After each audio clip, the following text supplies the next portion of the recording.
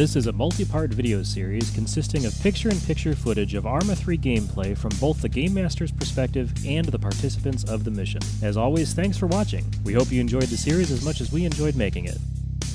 If you like watching these episodes, maybe you'd like to join in too. Our team is looking for new members. Just click on the annotation on the screen or visit mgamers.com forward slash ARMA recruit. We'd love to have you join us.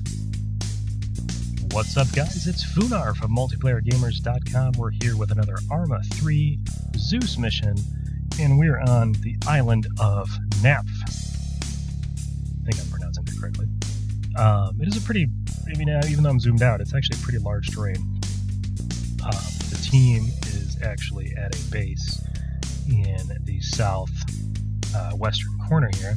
But as you can see, I have an island up here with a bunch of markers and stuff on it. Um, but before we get too far into what's going on, what do we have here today? We've got Conan 58, we got Icarus, we got Luzon, and we should be joined by a couple more members of the multiplayer gamers team. And um, so yeah, so this is where we're at right now. We're at Napf. So they're currently at the base down here in the southwest, like I said. But as we can see, there are a ton of markers up here.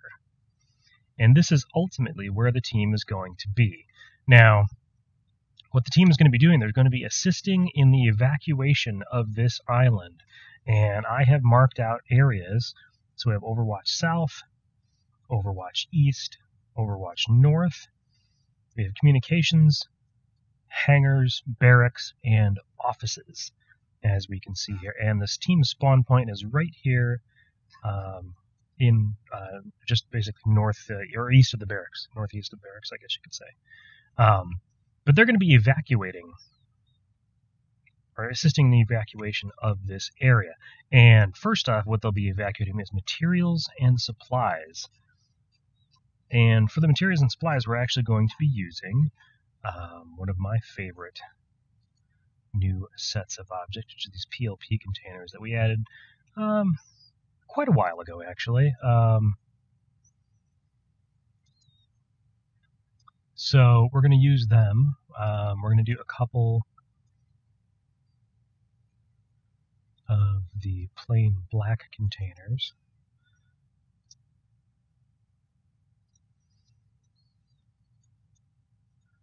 Like so. We'll do an orange. I don't want this one. Well, you know, maybe we'll do one of those.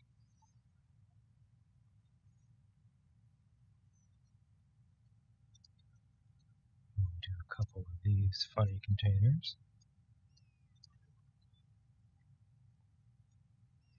So we got four larger containers, like these guys here. And this will all make sense shortly. And then I'm going to create a bunch of these guys. No, that's way too small. There we go.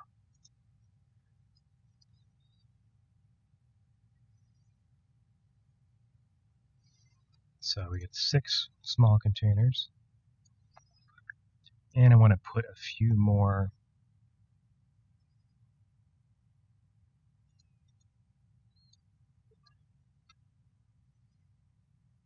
There we go. I'm going to big one.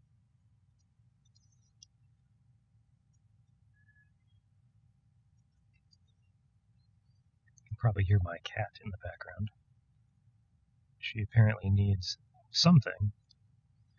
Don't exactly know what that something is but she thinks she needs she thinks she needs something.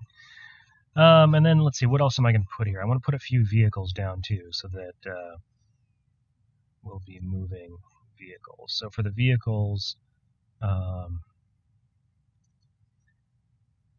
use a couple of these guys right here.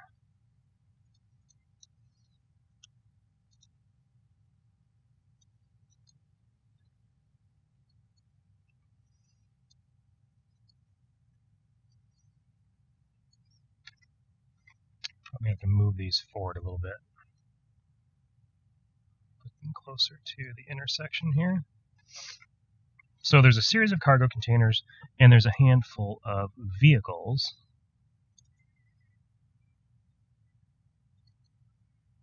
I'm trying to see if there's anything else I want to add. Actually, do these.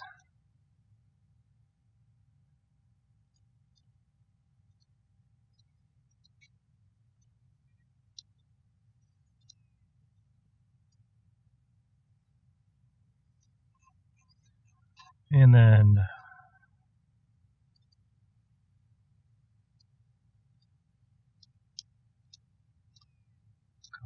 actually this is the one I wanted. I want these.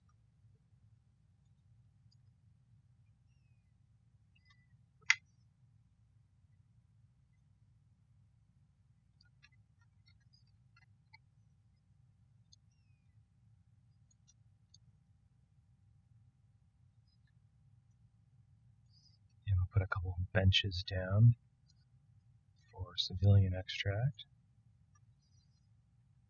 like so. So the mission is that the team is going to be assisting in the evacuation of this base. Um, so this this entire base and all these points are going to be under siege. Now, the ones they're primarily interested in are the barracks, the hangar, and the offices. Offices.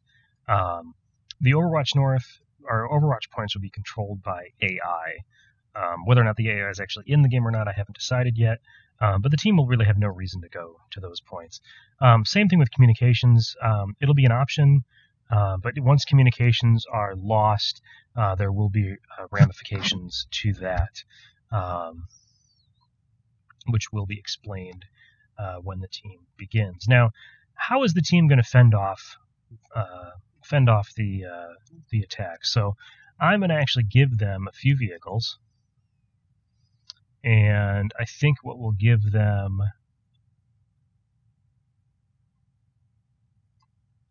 is that the one I want? Yeah. I'm going to give them a couple of striders.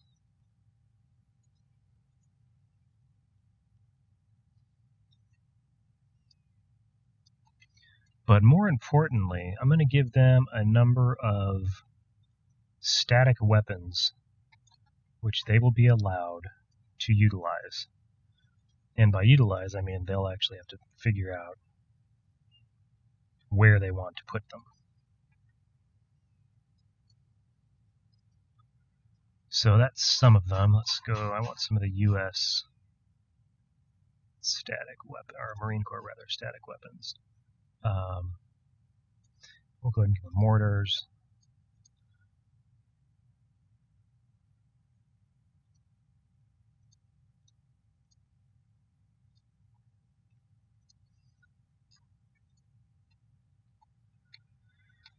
I'm put one of these here, one of here, one of here.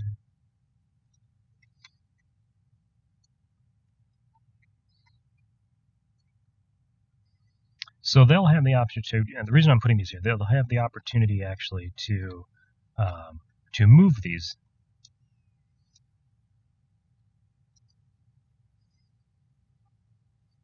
So they'll probably end up loading them up in the uh, Striders, and then they'll be allowed to actually move them to wherever they want to put them, and they'll have a period of time uh, for that. So the the invasion's not going to start right away. We're going to let the pilot get an opportunity to move um, move units, move uh, move a couple cargo containers back and forth, um, to kind of get uh, the feel uh, for the whole uh, the, the, sling loading and so forth.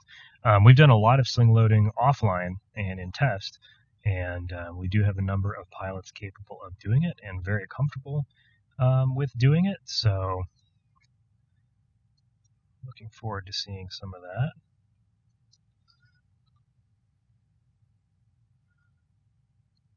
I'm intentionally going to put more more containers and supplies um, than is going to be possible for them to actually evacuate.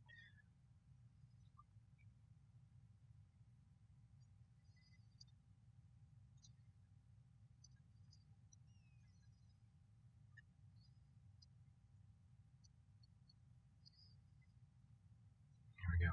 So there's a lot of stuff here. Um, I don't anticipate they're going to get all of it out of the base because they're essentially the pilot's going to have to essentially go from the main base here all the way over here um, in order to pick up uh, the materials and then drop them off. So I don't anticipate um, all of this, all of these materials getting uh, getting extracted out. Uh, that would make for a very long mission and probably a very boring mission um, for the pilot. So um, that's not going to be the case.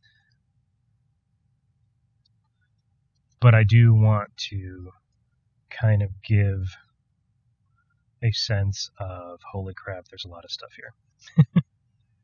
that's what I'm going for. So just like so. So that'll be uh, that'll be it. So I'm not going to spawn any AI this time, uh, with the exception of I have spawned AI in the whoops. Have spawned AI reinforcements inside these little transport containers. As we can see, these are U.S. Marines in here which our pilot will be able to actually bring these transport containers to uh, the fight, and then those guys will basically be assisting um, with the battle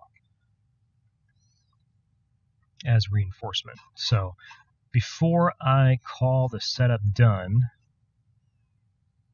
and one other thing I want to do is Oh, wait, I'm in the wrong section. Here we go.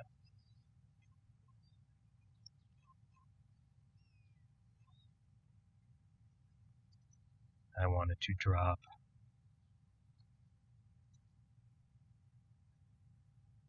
some guys down at each of my points.